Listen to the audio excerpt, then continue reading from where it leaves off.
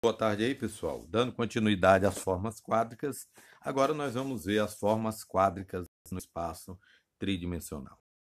Estudamos anteriormente para o, para o plano, nós vamos também estender para o espaço tridimensional, tá certo? Então aqui nós vamos ter a mesma ideia. É tridimensional, nós vamos ter a matriz simétrica real, só porque agora nós estamos trabalhando no R3, então a matriz é 3 por 3 nós vamos ter o VS também, que é um vetor do R3 em relação à base canônica. E nós vamos ter o polinômio, que ele agora vai ficar um pouco maior, que é chamado de polinômio homogêneo de segundo grau, que é o chamado forma quádrica no espaço. Então vai ser ax ao quadrado mais bx ao quadrado mais 6x ao quadrado mais 2dxy mais 2exy mais 2fyz, tá certo? E esse daí é um polinômio que representa a forma quádrica no espaço tridimensional. Então, nesse caso aqui, nós temos as três variáveis x, y, z elevado ao quadrado. E lá nós temos apenas duas x. Y. Nós vamos resolver, nós vamos o produto na forma matricial. É bem é a transposta de matriz A, que é a simétrica real, vezes o, o, o vetor VS, que aí você encontra que se você fazer esse produto de matriz, você vai encontrar o polinômio. Cada vetor VS corresponde a um número real P, que é igual a esse polinômio, que é o polinômio da forma quádrica no espaço tridimensional. O objetivo, como sempre, primeiro passo, que nem nós vimos lá, é reduzir da forma quádrica para a forma canônica. O que é isso? Você produto a transposta de Vs vezes A vezes Vs pode ser escrito como lambda 1 x' ao quadrado mais lambda 2 y' ao quadrado, lambda 3 y' ao quadrado, onde lambda 1, lambda 2, lambda 3 são os autovetores da matriz A, tá certo? E, o, e, os, e os valores x, y, z é um vetor do, do, do, do espaço, só porque agora ele é escrito em função da base P, que a base P vai ter os vetores 1, 1, 2 e 1, 3, que são, na verdade, os autovetores unitários, mesma coisa, só porque aqui nós vamos ter 3, associado aos autovetores lambda 1, lambda 2, lambda 3. Então, essa fórmula aí que pode ser expressa é chamada de forma canônica da forma quadrática no espaço. Então, tudo que nós fizemos, considerações que nós fizemos no plano, vai ser usado no espaço. Nós vamos ter uma quádrica agora. O que, que seria uma quádrica? Seria uma, uma, um sólido geométrico, uma região, um lugar geométrico no espaço. Na verdade, não seria sólido porque ele não é preenchido. Então, um lugar geométrico no espaço. Vocês estudaram eles lá. Daqui a pouco nós vamos classificar eles. Vocês sabem que são elipsóide, parabolóide e o hiperbascações. Vocês estudaram em geometria é bom vocês rever também elas. Então, todas, todas, to, é, as quádricas são todas escritas como uma função quadrática, tá certo? Então, as quádricas são função quadrática, quer dizer que os termos estão ao quadrado, então nós vamos ter essa forma quádrica aí. O objetivo é escrever ela de uma forma mais simples, que podemos reconhecer e analisar a quádrica, né? Que é ela. Então, o objetivo é sintetizar mais essa, essa forma. Pela análise da rotação, se a quádrica sofreu rotação, se ela sofreu translação, o objetivo continua sendo o mesmo, tá certo?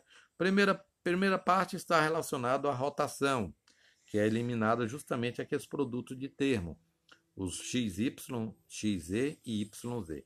Então, o primeiro passo é trabalhar e tentar eliminar aquele trem. Não fazer uma. A ideia é o quê? É fazer uma, uma uma transformação, um operador linear, que vai fazer essa alteração. Primeira coisa, escrever aquela equação da quádrica em forma matricial, escrito, né? Que é a transposta de VS vezes a matriz A vezes VS mais N, N essa matriz linha MNP vezes VS mais Q, que é esse termo. Nós vamos fazer o quê? Calcular os autovalores e os autovetores dado a matriz A. Lembrando que os autovetores unir. Substituir essa forma quádrica para a forma canônica. Quer dizer que é o que? Mudar a base que nós estávamos trabalhando. Na forma quadrática, nós trabalhávamos com a base canônica. E na forma. Na, e na forma base, que é, são os autovetores, né? que é a base P dos autovetores. Aí nota que vocês vão ter aí, ó, aquela mesma escrita, vai ser os vetores x', y', z', a inversa dele, vezes a matriz D, que é a matriz diagonal, onde a diagonal principal é, é, é, é, é os vezes o P, que é x', y' e depois nós vamos transformar VS, que é aquele outro vetor lá, como sendo o produto. Aí que nós vamos usar a matriz. Note que, a, que essa matriz P é a matriz dos autovetores unitários. Então, primeira coluna, o 1, segunda coluna, as coordenadas de U2, terceira coluna, as coordenadas de U3, vezes x', y', z'. Então, nós vamos usar esta transformação, tá certo? Então, se nós tivermos cuidado para que o determinante da matriz seja 1, certo? A fim de que a transformação é, satisfaça a rotação e nós fazemos, escrevemos aquela mesma cônica, que é a mesma quádrica, sem os termos x, x vezes y, x vezes z e y vezes. Então aqui nós fizemos ela, se efetuamos os produtos aí, conveniente que eu pulei esses nós chegamos justamente na equação quadra, é, é, na quádrica, tá certo? Então, y e z', cujos eixos são determinados pelo, pela base P, que é o 1, o 2 e o 3. Então, os eixos são todos ortogonais. Por quê? Porque nós estamos trabalhando com, com, com, com a matriz simétrica. Então, ó, a, a, vê que a equação ficou bem mais simples, ficou na forma canônica, ficou bem mais simples do que era. Uma outra parte, assim como nós trabalhamos, é fazer a translação do, dos eixos. Aqui nós já temos a equação já feita a rotação, tudo em relação ao sistema x', y', z'. Agora nós não estamos trabalhando mais com espaço tridimensional x, y, z, que são os vetores da base canônica E1, E2 e E3. Agora nós estamos trabalhando com, com o sistema é como se você tivesse pegado aquele sistema e feito uma rotação. Por isso nós trabalhamos com vetores também unitários, para não ter a diferença na hora de fazer as marcações. Então aqui nós fazemos as reduções convenientes, né? Nós vamos trabalhar no primeiro caso em que os três autovetores são diferentes de autovalores são diferentes de zero. Nós fazemos as equivalências, as igualdades aí. E depois disso aí nós vamos fazer, tem a fórmula da translação, tem a fórmula que nós escrevemos aqui para encontrar o menos que, e nós chegamos aqui, ó, numa forma reduzida, que é lambda 1 x ao quadrado mais lambda 2 y ao quadrado mais lambda 3 e ao quadrado, que é igual a encontrando os altos vetores. Você já chega aqui, belezinha, tranquilo. Vocês vão fazer os exercícios, no início vai dar um pouco de trabalho, mas vocês vão conseguir fácil.